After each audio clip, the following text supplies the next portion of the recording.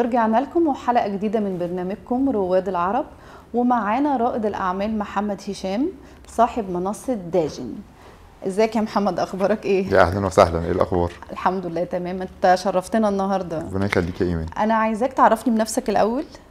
محمد هشام 39 سنة آه، 18 سنة banking corporate life وسنتين رائد أعمال. آه أنا عايزة أعرف بقى احكي لي عملت shift career إزاي؟ قدرت إزاي تسيب الوظيفة وتبدأ في business startup بصي ده أصعب سؤال ممكن حد يتسأله. يعني أي حد متعود على شغل معين بطريقة معينة لمدة عدد سنين كبير آه، بيبقى مبسوط بالشغلانة بتاعته بيبقى مبسوط بال إن هو عامل مأمن المرتب بتاعه ومبسوط بالدايرة بتاعته. بس يعني الرضا دايما هي أهم حاجة. أنا طموح شوية زيادة فأخدت القرار وبيني وبينك مبسوط. الحمد لله. أكيد الحمد لله. طب عايزة أسألك بقول لي مين دعمك في إن أنت تاخد القرار كان support لأن أنا عارفة إن الأهالي يعني بيجي لها حالة فزع. إيه ده؟ هتسيب الوظيفة اللي هم دايما target عندهم وتعمل business لسه startup فمين اللي دعمك ومين اللي خوفك؟ بيني وبينك محدش دعمني خالص. يعني وبيني وبينك برضو أنا ما قلتش لحد. يعني من كتر ما أنا كنت مؤمن بالموضوع كنت مؤمن بالخطوة يعني آه كويس جدا الواحد يبقى يبقى موظف بس مش هفضل كده طول حياتي. وال وكان في حركة كده حصلت معايا هي اللي خلتني آخد القرار. مديري 59 سنة تليفونه ما بيبطلش رن. طول الوقت هو إنسان مهم فتليفونه ما بيبطلش رن. فجأة 60 سنة تليفونه ما بقاش بيرن خالص. فقلت أنا هبقى زي الأستاذ ده بالظبط. وده اللي خلاني أغير فكري إن أنا أقول لأ أنا وأنا في كامل صحتي دلوقتي أقدر آخد الخطوة وأقدر إن أنا أتحمل المشكلة النفسية بتاعت إن أنا من إنسان الناس بترجع له وعلى طول هو من الدوائر بتاعه اتخاذ القرار لحتة إن أنا تليفوني ما بيرنش ودي متعبة متعبة جدا نفسيا؟ آه فقلت آخدها دلوقتي. وفعلا دي كانت من من أصعب الحاجات يعني أنا كنت في, شغلي آه بصحى 6 الصبح أبدأ أنظم اليوم بتاعي. أنا كنت رئيس قطاع تمويل ومعايا يعني 170 فرع معايا معايا فريق 100 واحد reporting ليا. كنت عضو لجنة ائتمان فطول الوقت ببقى لازم الناس ترجع لي. فإن أنا أقفل الصفحة دي وأبدأ صفحة جديدة أول ست شهور بالنسبة لي كان عذاب. تليفوني اللي كان بيرن 24 ساعة مبقاش بيرن خالص. بحكم الوظيفة يعني الست شهور دول بقى جالك أي شعور بالندم؟ آه ندم؟ لأ إحباط آه. طب عايزاك تقولي بقى عشان أنت أخدت التجربة وبقى لها فترة تقريبا ثلاث سنين إحنا عندنا مشكلة دايما إن رواد الأعمال اللي هم موظفين بيقابلوا مشكلة كبيرة جدا في النقلة دي إنه طول الوقت ال startup business إحنا عارفين إن هو بياخد وقت. فهو طول الوقت في الفترة دي بيقارن نفسه بالوظيفة أو بيجيله شعور بالندم أنا غلطت ولا ما غلطتش؟ أنا القرار اللي أخدته ده صح ولا لأ؟ بيبقى فاهم ساعات أحيانا ال startup business غلط. فاكر إن هو أول ما هيبدأ هيتفتح له كل الأبواب. صحيح. فكمان هو عنده مشكلة إنه بيواجه الصعوبات بمقارنات. فبتبقى غير إن اللي ما عندوش وظيفة أصلا وبي startup business فما عندوش أي حلول غير إنه يكمل. أنت تنصح رائد الأعمال اللي عنده فكرة وعنده مواهب تقدر تمكنه إنه يعمل business خاص بيه بس هو موظف وخايف. تنصحه بإيه؟ دراسة ثم دراسة ثم دراسة ثم دراسة. تدرس اللي أنت عايز تعمله كويس جدا. وما تبصش طب للموضوع هيدرسوا إزاي وهو موظف؟ يدرسوا بعلاقات لازم. يعني مثلا لو إحنا هنضرب مثل إن حد عايز يعمل startup في حاجة معينة في, في, في قطاع معين. تعالي نقول مثلا هو قطاع الصحة. أول حاجة لازم يدرس كويس جدا قطاع الصحة. يفضل يشتغل زي ما هو موظف لغاية مواعيد الشغل بتاعته ويبدأ يسأل يعمل ال- ال- ال- دايرة العلاقات بتاعته في الجزء ده علشان يبدأ يعرف اولا هي الفكرة بتاعته ليها قبول ولا لأ. الحل بتاعه فعلا هيساعد الناس ولا لأ؟ رقم ثلاثة وده المهم مدى تقبل ال- ال- ال- العميل ليك. رقم أربعة هتعرف تعمل فلوس من الموضوع ده ولا لأ؟ فهم أربع خطوات. أنا يعني إيه مدى تقبل العميل ليك؟ مدى تقبل السوق لفكرتك. آه، يعني أوكي. أنت دلوقتي عملت مثلا حلقة وصل ما بين الصيدليات وما بين ال- الشركات الشركات الكبيرة وما بين البنوك. يا ترى الصيدلية فعلا محتاجة ده؟ جميل محتاجاه هتدفع فيه فلوس؟ هتدفع فيه فلوس. يا ترى انت هتعرف توصل لهم؟ وصلت للنقطة دي. خلاص ابتديت تعمل. يعني تعالي نقول إن أنت ابتديت يبقى عندك اللي هو النولج جمع كل حاجة عن البيزنس اللي ناوي يفتحه رقم واحد. دي تمام. أهم نقطة. وتزود دايرة علاقاتك في الجزء ده. مهم فعلا. بعديها خلاص ربنا كرمك استخير. وممكن بقى ساعتها إيه هقول لك المصطلح اللي دايما بقوله تنط. تنط ده إن أنت خلاص ما تفكرش. أيوه أنا سألتك أول ما شفتك نطيت ولا لسه؟ نطيت نطيت. ونطيت دي لما أنا أنا طلعت في البرنامج بتاع شارك تانك فكان أول سؤال ليا أنت متفرغ لفكرتك ولا لأ؟ فأنا ما كنتش متفرغ ساعتها من كتر ما أنا خايف. فهو قال لي نط. وسبحان الله أنا نطيت يوميها. يعني أنا ما قفلتش اليوم غير لما استقلت من وظيفتي. ليه؟ عملت الأربع خطوات دول. اتأكدت إن السوق فعلا محتاج الفكرة دخلت في السوق كويس جدا وبقت دي دايرة العلاقات بتاعتي. أنا حتى كنت في البرنامج بتاع شارك تانك بقول إن أنا بقيت بتاع فراخ. أنا فعلا بقيت بتاع فراخ. مفيش حاجة في السوق ده ناس ما قعدتش معاهم ومفيش معلومة بتعدي عليا.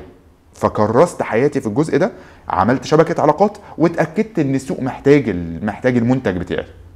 طيب تمام. بين ما سبت الوظيفة بتاعتك وابتدت ال application يجي لها أول client أخد فترة قد إيه؟ كتير. أخدت سنتين.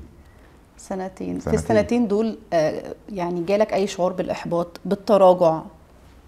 ولا خلاص كنت واخد قرار ومكمل في الطريق؟ يعني مكمل. أنا يعني طبيعتي باخد المخاطر قوي. يعني أنا هي دي شخصيتي أصلا. آه 18 سنة أنا من أول يوم دخلت البنك أنا كنت 18 سنة بانكينج في في البنوك. من أول ما دخلت أنا عايز أوصل لمنصب معين. عايز أبقى في المنصب اللي أنا وصلت له فعلا. ف 18 سنة شغال على الجزء ده. لغاية ما وصلت له وخلاص الحمد لله وابتديت إن أنا يعني أبقى اسمي معروف فيه ابتديت أفكر إيه الخطوة الجاية. فأخدت القرار ونفذت تماما.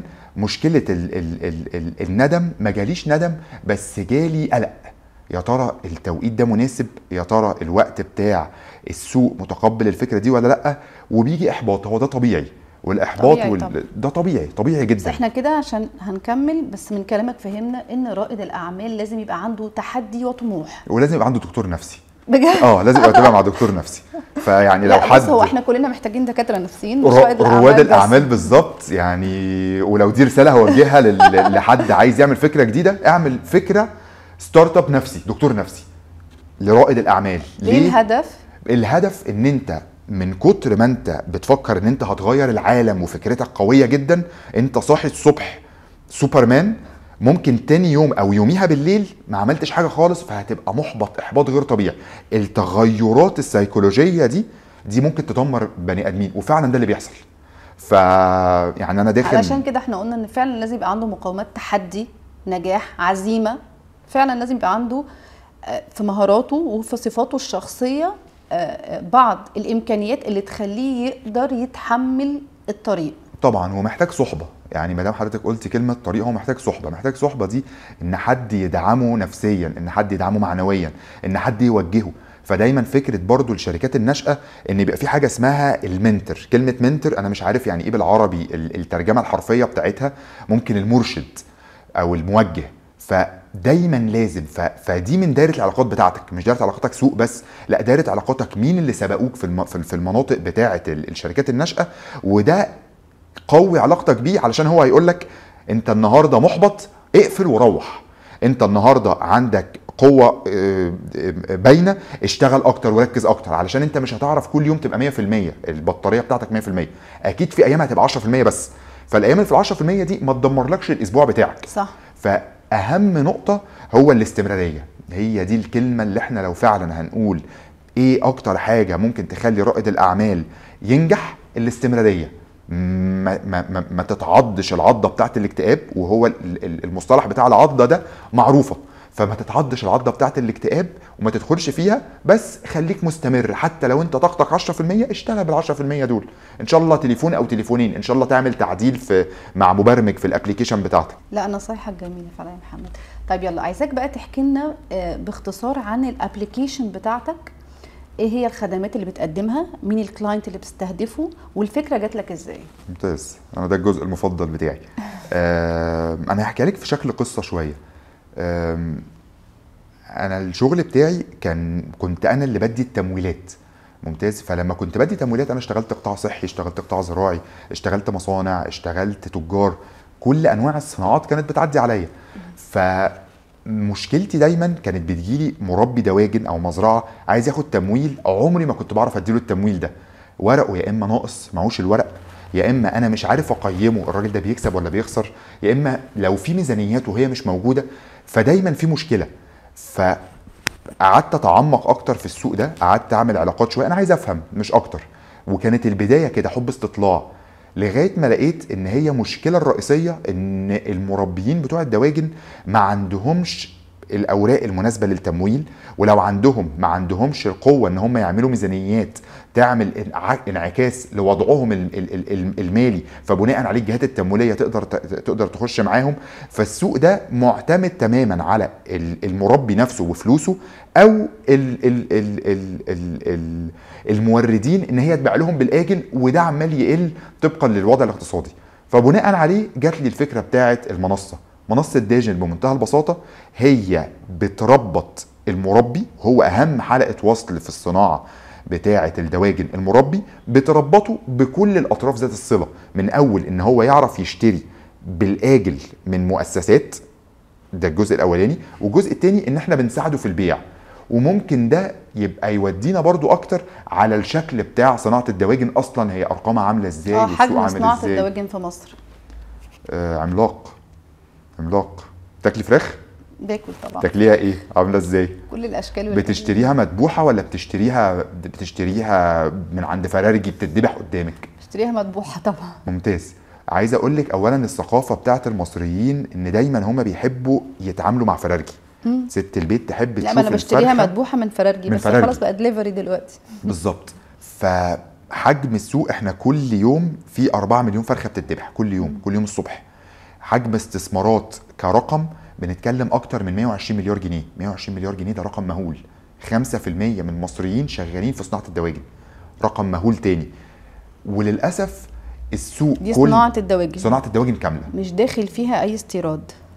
هي بدايتها استيراد للأسف. يعني هي بداية الفرخة علف وكتكوت اللي هو بدايته ذرة وصويا اللي هي مصر فيها صويا وفيها ذرة. بس طبعا يعني أكتر من 95% استيراد. فللأسف الصناعة كلها مبنية على الاستيراد. تمام كمل لي شرح ال application قول لي الكلاينت الكلاينت اليوزر الاند يوزر في الأبلكيشن هو مين؟ الفكرة اتطورت كذا مرة ودي برضو من من فكرة الشركات الناشئة إن أنت بتبقى داخل على سوق معين على مشكلة معينة وكل شوية بتلاقي تحدي جديد. يا إما بتحاول تفكر له في حل بس ما بتعملوش الإطلاق بتاع الحل دلوقتي وده المصطلح اللي بنقول إن إحنا بنحطه في الدرج. يعني بنحط الحل بتاعنا في الدرج وهنستخدمه في وقت من الأوقات علشان ما ينفعش تجري في كل الاتجاهات في نفس الوقت. ف ال- ال- ال- المنصة بتاعتنا بدأت إزاي واتطورت إزاي؟ بدأت بمنتهى البساطة إن إحنا بنحاول إن إحنا نخلق سوق إلكتروني اللي هو ال e-commerce platform هقف عند النقطة دي. إزاي دخلت قطاع الدواجن وف- وفكرت إن المستخدمين هتقدر تستخدم التكنولوجيا؟ وده يدينا نقطة برضو حاجة اسمها هي المنصة بتاعتنا معتمدة اعتماد كامل على التكنولوجيا اللي هي اسمها full tech ولا حاجة اسمها tech enabled اللي هي مدعمة بالتكنولوجيا. فالحاجات الزراعية دايما بتبقى tech enabled مدعمة بالتكنولوجيا. بمعنى إيه؟ بمنتهى البساطة إن إحنا بنستخدم التكنولوجيا كأداة تواصل مبدئية ما بين الأطراف ذات الصلة. بمعنى برضو إن المربي إحنا كل اللي محتاجينه منه بس إن هو يا إما هينزل ال application فيتعامل معانا من خلالها أو عاملين لها حل بديل تماما عن الواتساب كل الناس عندها واتساب وكل الناس بتعرف تتكلم عن بعض على الواتساب فكل اللي عاملينه عاملين نفس الموضوع بتاع ال application على الواتساب بمعنى يعني أنت كان غرضك إنك تجمع الكوميونتي تجمع. مجتمع مست...